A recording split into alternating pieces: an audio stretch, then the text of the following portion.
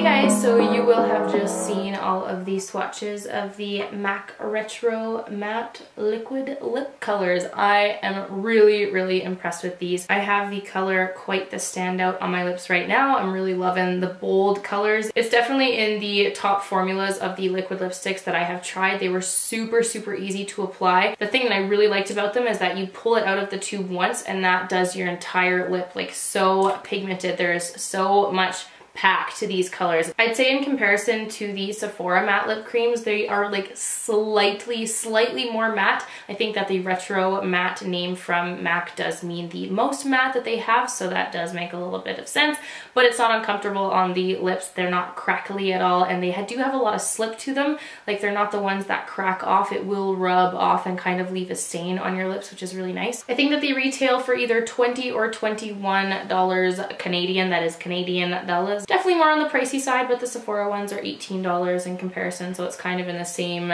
spectrum of price. They didn't bring out a similar color to Sephora number 13. I was a little bit sad about that. There wasn't a proper mauve shade in here, which is a color I'm really into right now, and it's a color I would have liked to have seen in this collection, but Overall, amazing colors, amazing formula. I'm absolutely in love with them. I'm totally giving these lip colors a 10 out of 10. I think they're amazing and definitely think that you guys should try them if you're wanting to try a new liquid lip color. I think they're great and I'm not even sad about how much money I just spent on those.